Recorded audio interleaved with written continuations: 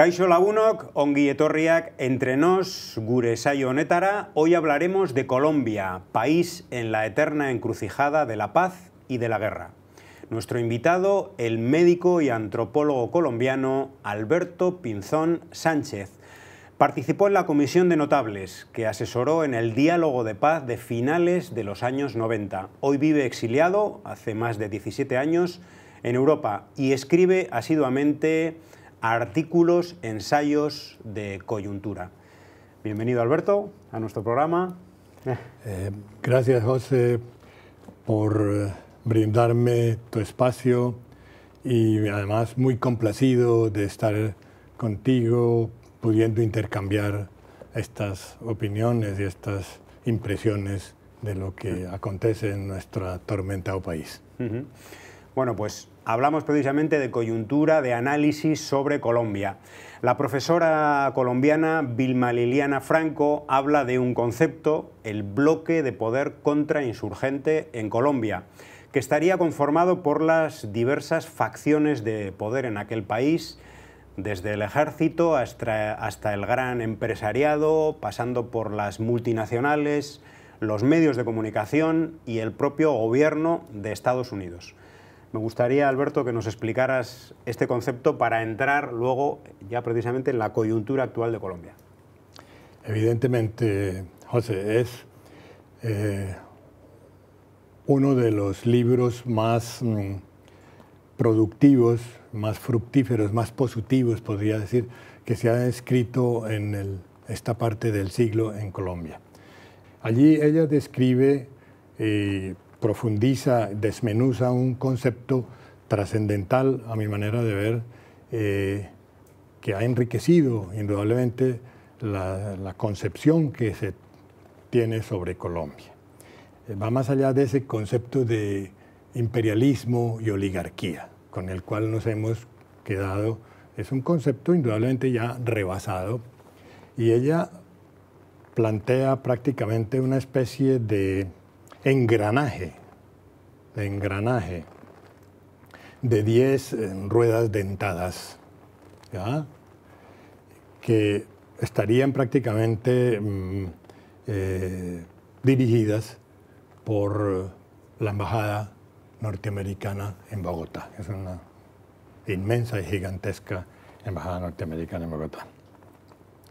Ella lo plantea siguiendo un poco el modelo de del Estado, la definición que da Gramsci, de que el Estado es hegemonía o consenso más coerción. Ella toma los conceptos modernos eh, que se han elaborado desde la perspectiva marxista, desde la cosmovisión de Marx, y lo aplica a Colombia.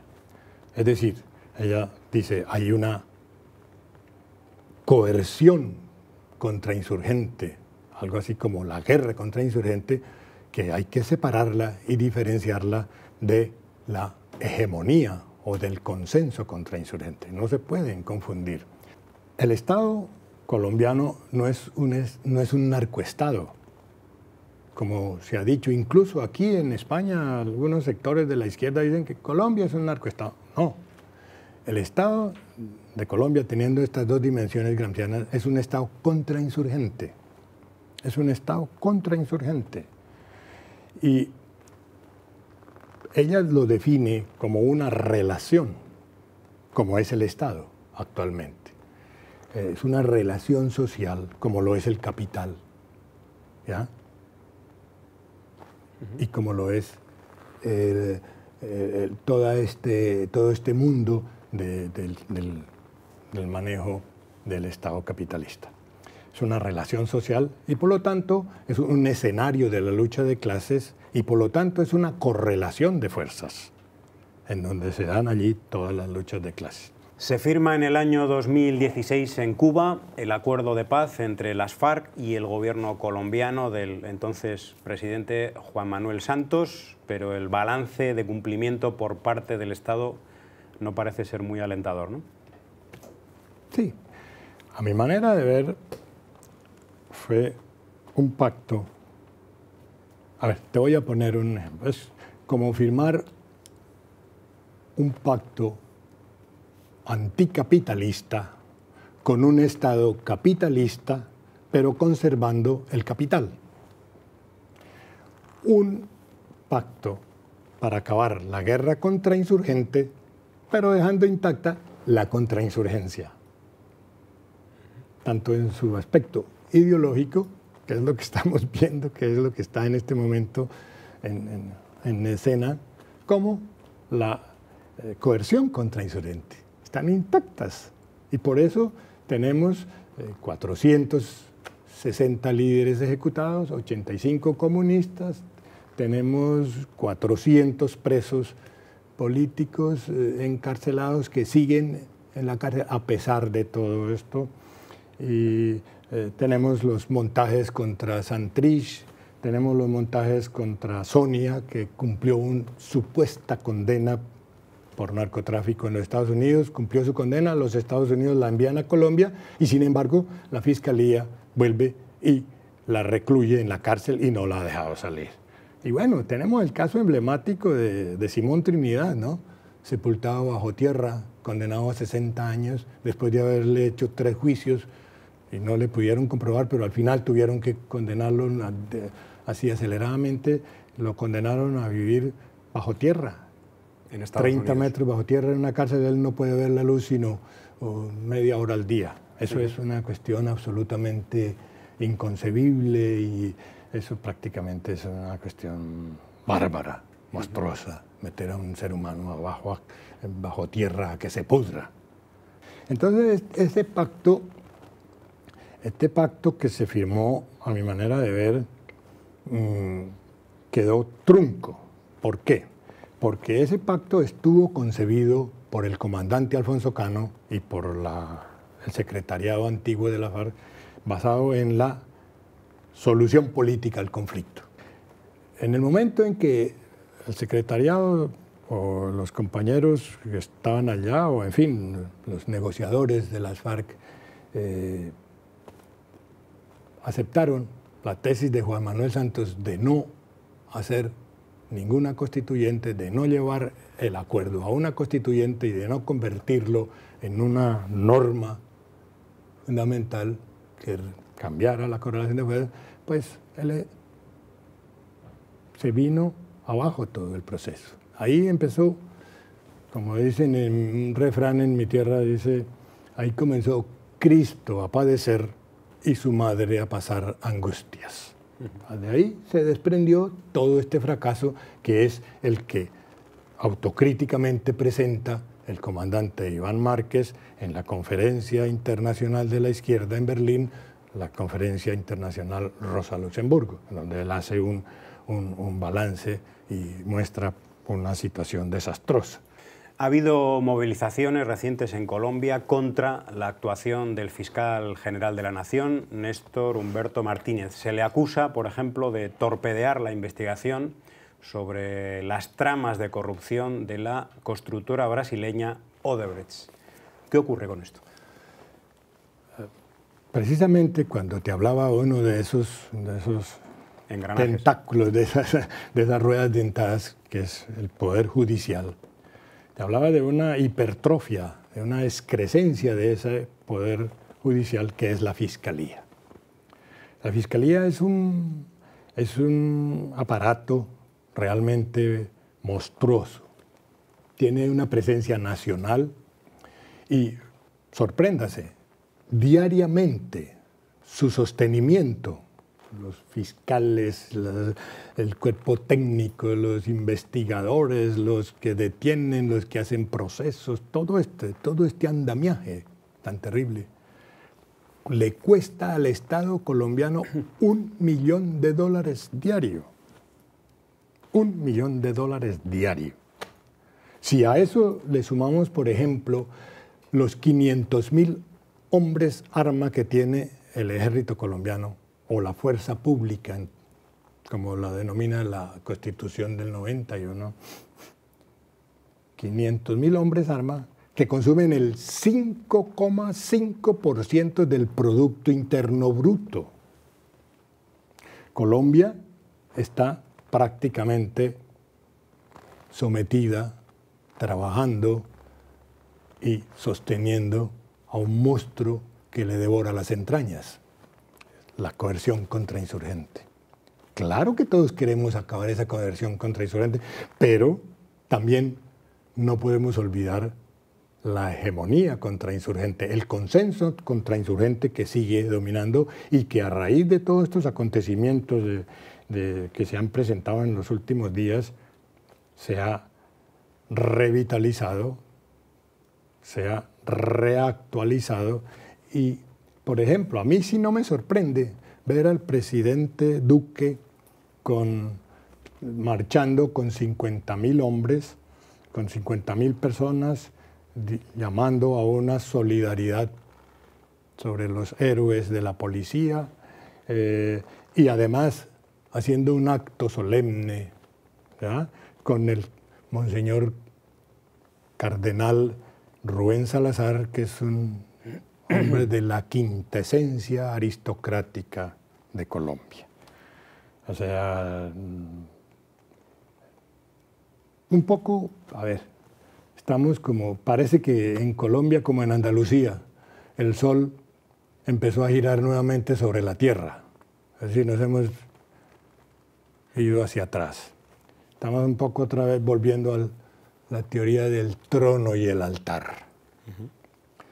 Eh, allí estamos viendo cómo se han engrandecido, empiezan a amenazar a Cuba, a presionarla, a exigirle que entregue a los negociadores o dialogantes del ELN a Venezuela y prácticamente a, generar una situación, como decimos en Colombia, cuando algo es frágil, como dicen los campesinos de mi tierra, dicen, esta situación vidriosa, frágil.